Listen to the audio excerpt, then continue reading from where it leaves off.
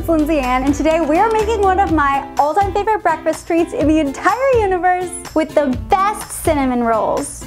This recipe, you guys, is everything. You know it's that good because there's no chocolate in it, and I'm still that utterly obsessed with them. They're literally the best cinnamon rolls I've probably ever had in my entire life. I kid you not. And if you're not already subscribed to my YouTube channel, be sure to tap that subscribe button to be the first to see my all new videos. These ultra fluffy, soft rolls are loaded with gooey, buttery cinnamon sugar filling and smothered in cream cheese glaze. These babies are hands down the only cinnamon roll recipe you will ever need for the rest of your life, I promise you. So the base of these is ultra light and delicate. They're not like dense and bready like some cinnamon rolls. The dough is so soft and tender from the buttermilk and super moist from using a combo of butter and oil. And the filling, you guys. The filling is unlike anything you've ever had because I added some of my secret ingredients. And to finish it off, we are slathering it in my all-time favorite cream cheese icing. It's sweet and tangy, rich and smooth and creamy and is the perfect topping for smothering on top of these cinnamon rolls. All right, so we start with the dough. And as always, I'll leave the full written recipe for you guys down below, or you can get it on my website at lindsayannbakes.com. So first we whisk together some warm milk and our instant dry yeast. And I don't want you guys to be scared if you've never worked with yeast before. It's really easy and this is the perfect recipe to try with because they turn out so good. Some sugar, six tablespoons of the melted butter, vegetable oil, vanilla extract, the eggs, and a little salt. And just make sure you're using instant yeast or rapid rise yeast as opposed to just the regular dry active yeast so these rise really puffy and perfect. Then slowly mix in the flour one cup at a time with a wooden spoon or a spatula until the flour is incorporated and the dough starts to come together.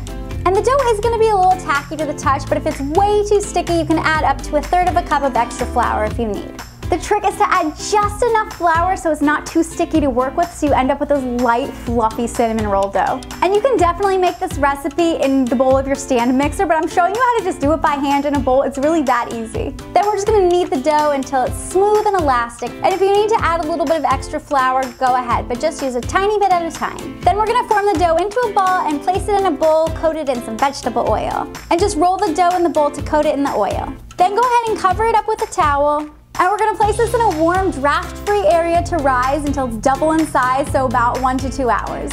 Okay, so while our dough is rising, we're gonna work on the filling and get everything prepared so we can put it all together. So first just spray the bottom of a 9 by 13 inch baking dish with some nonstick spray and set that aside. For the filling, mix together the brown sugar, vanilla, white sugar, cinnamon, cornstarch, and nutmeg. And then at this point, I also like to take the butter out of the fridge and let it come to room temperature so it's nice and soft for when we spread it on top of our dough. All right, our dough should be nice and ready. It should be about double in size, so let's go check on it. Oh my God, look at that giant puffy ball of dough. That's perfect. So now we're just gonna turn it out onto a lightly floured work surface and using a rolling pin, we're gonna roll it into about 12 by 18 inch rectangle. The best part about these is you can make them the day before, so you just wake up, pop them in the oven, and you have got warm, fresh out of the oven cinnamon rolls with that amazing aroma just wafting through your house. Now comes the best part, we're gonna go ahead and add the filling. So just go ahead and spread that softened butter all over the top of the dough. And then we're gonna sprinkle our cinnamon sugar mixture right on top so the entire surface is fully covered so we get that ooey gooey filling. Then just roll the dough up tightly lengthwise so you have a long 18 inch log. Now we're gonna cut our log into individual cinnamon rolls you get 12 equal pieces. You can definitely just eyeball it and cut them one by one, but this way we get 12 pieces that are about the same size. Then just arrange them in your prepared pan, cut side up. Okay, so here's where you can either do the overnight method or the bake straight through method. So if you wanna bake these tomorrow, go ahead and cover them up nice and tight with some plastic wrap and pop them in the fridge overnight or for up to 16 hours and then come back and we'll continue. If you wanna bake them straight through, that's what I'm gonna do because I want cinnamon rolls and I want them now. So if they've been in the fridge overnight, just go ahead and pull them out. Or if you're continuing on with me, we're just gonna loosely cover these and let them rise for a second time. So just go ahead and put them in a draft-free warm area until they're double in size and nice and puffy for about one, one and a half hours.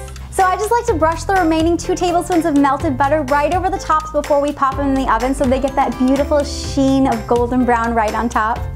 And now we're just gonna pop them in a preheated 350 degree Fahrenheit oven for about 20 to 25 minutes until they're perfectly tender and golden brown. All right, while those are in the oven baking, we can get started on the cream cheese frosting, my all-time favorite part of these cinnamon rolls. So just go ahead and beat together the cream cheese and the butter until it's nice and smooth, and make sure those are both at room temperature so you don't get any lumps in your icing. Then go ahead and add some vanilla extract, and the powdered sugar, and just beat this all together until it's smooth and creamy.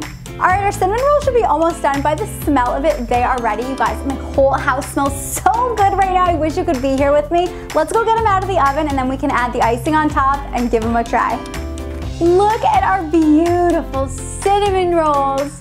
Oh my gosh, you guys, that gorgeous golden brown top. And you can just see that cinnamon sugar filling poking out from the middle. I cannot wait to slather some icing on top of these. Then just go ahead and spread the icing right over the warm cinnamon rolls.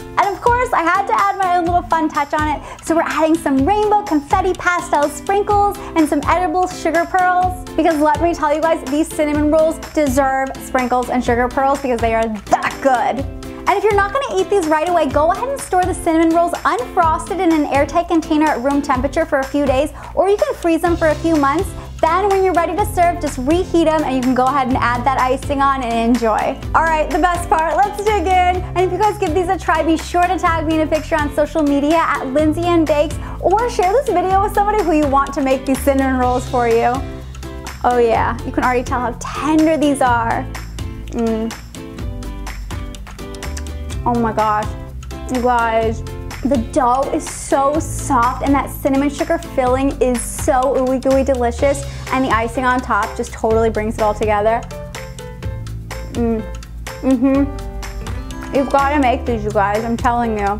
Just look at that. They pretty much like fall apart. Mm. So there you have my best ever fluffy cinnamon rolls.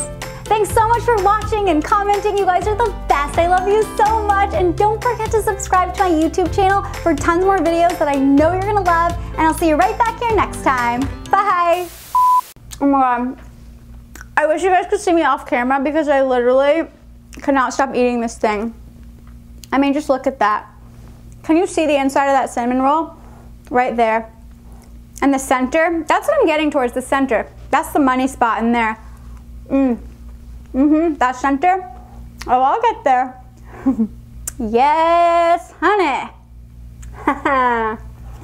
Guys, I'm kind of speechless. I know I'm a huge chocoholic for life, but this week on YouTube, I made cinnamon rolls, and these probably are the best cinnamon rolls I've ever had in my entire life. Like, ever.